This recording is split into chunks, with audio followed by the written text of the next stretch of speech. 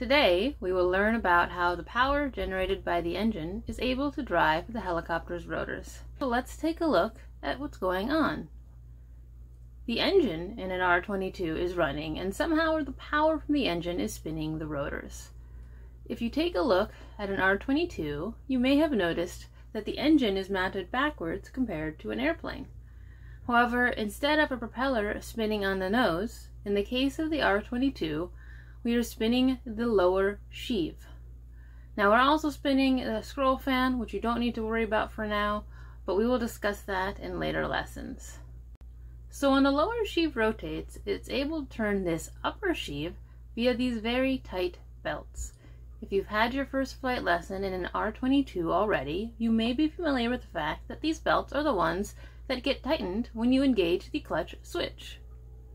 Now that the upper sheave is rotating, it's able to drive the clutch and tail rotor drive shafts. In order for the spinning drive shaft to rotate the rotor blades, it must First, change both axis of rotation and rotations per minute, or RPMs. This can be accomplished with gearboxes.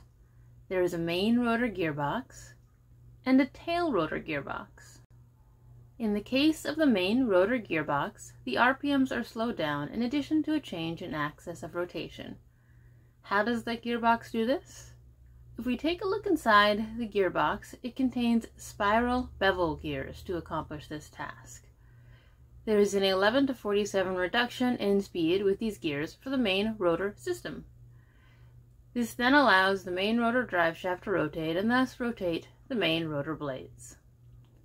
Similarly, the tail rotor gearbox also requires an axis, a change in axis of rotation as well as a change in RPMs.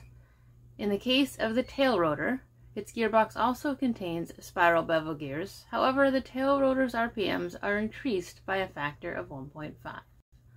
So there you go, a simple explanation as to how the helicopter's rotors are able to use the power from the engine to rotate. I hope you enjoyed this lesson. I plan to continue these lessons to include additional private pilot level ground and flight instruction, including flight lessons here in beautiful Hawaii. We've got some pretty cool views here in Hawaii.